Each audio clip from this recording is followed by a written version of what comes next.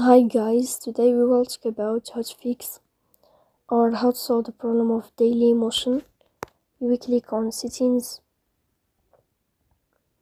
Here in this page we go to apps, default apps, app settings.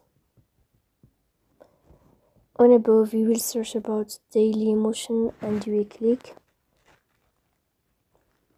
Here in this page of app info will click on force stop and will click OK.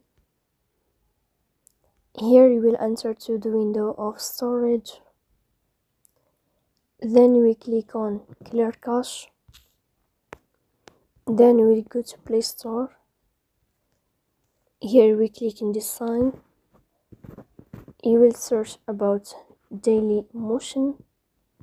Then you can uninstall your app and you can it again.